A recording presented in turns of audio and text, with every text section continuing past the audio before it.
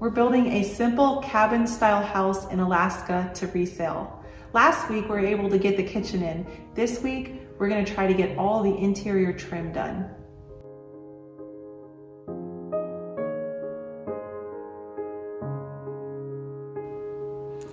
This is such an exciting step for this little house that we're building to be able to be doing the interior finish. So this is gonna take basically a raw shell and make it into a home.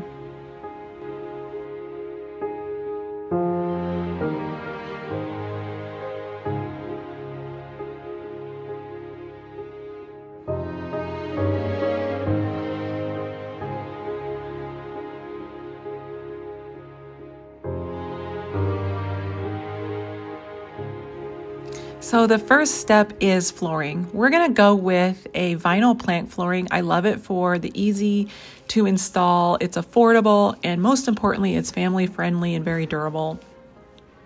I wanted seamless flooring throughout so it's easy to clean up and sweep. So this includes flooring that is in the entryway, in the kitchen, and the bathrooms. So waterproof is very important. We chose this kind of a whitewashed uh, wood look because I didn't want anything on the floor that would compete with the beautiful wood ceilings above.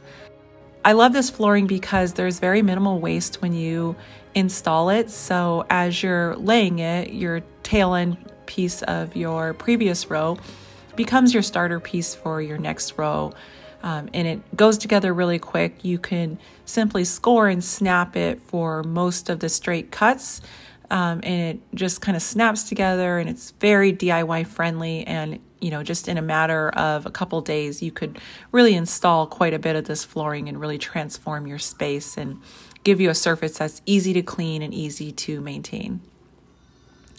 I love that we were able to put this in the bathroom and um, we're confident that it'll protect the subfloor and the framing of the house from moisture we finally are getting a toilet in. It's super exciting to see all the fixtures going in and, you know, things starting to actually function and work in this house. So, one of the downsides of this family home is there just was not enough space for a dedicated playroom for children. So, one of the ideas I had was what if we were to make the bedrooms, which are on the main level, very plush and comfortable with carpeting. So it encouraged kids to naturally play in their bedrooms. Um, I have toddlers, we have three kids, you know, we've grown up with them, and I know just a soft floor is where they prefer to play. So I'm hoping that by adding the carpet in there, it'll keep some of the toy clutter out of the main living space.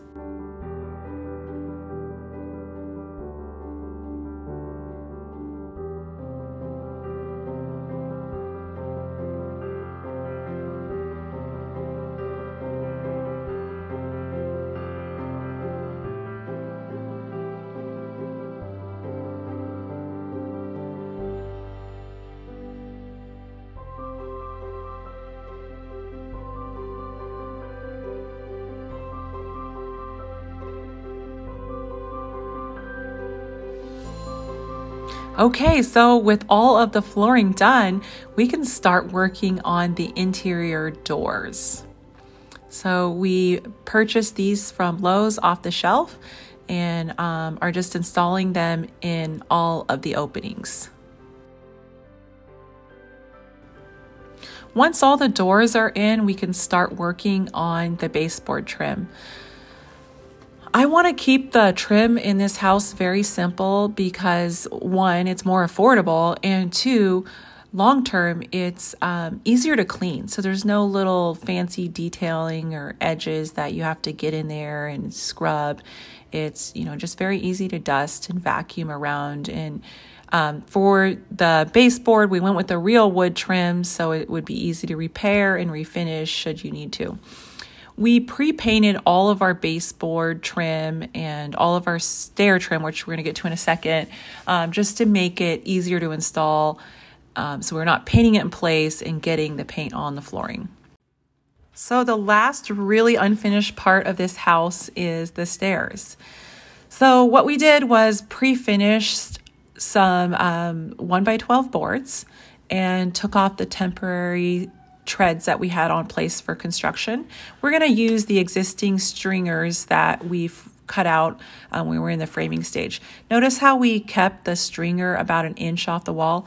That's so we can create a skirt to trim out the side of the stairs. And um, this will also protect the walls and make it all look finished. So the skirt, we just uh, really cut it to the angle of the stairs, which, you know, you can figure that with your stair, stair calculations. It just drops in there. Um, and then you have to, you know, cut the top and the bottom off if needed, if it protrudes past or under the stair system. It does take a little thinking, and, um, you know, I like to pencil some lines on the wall to get it just right. Um, but it is such a huge difference and it'll save you so much time in trim out later on. So once we got the skirts on the wall side of the stairs, we're going to start working on the risers. And the risers were just one by eight boards that we primed and painted white and then nailed them on top of the stairs. The final step is the treads. I went ahead and we cut those to size and then stained them to match the ceiling. And we'll put a couple coats of floor appropriate poly on them and nail them down. We still have quite a bit of work to do on the stairs just because the railing is integrated into the um, the trim out of the exposed side of the stairs. So, you know, next week we'll start working on the railing system.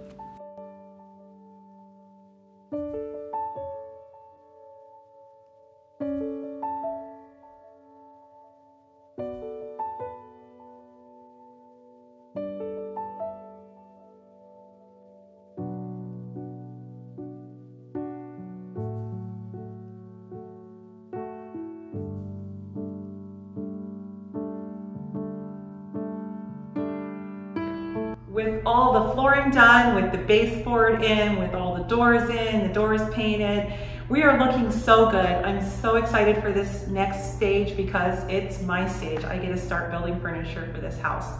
So make sure you take a second to subscribe if you haven't already. And we appreciate you watching and we'll see you next Monday with a brand new video.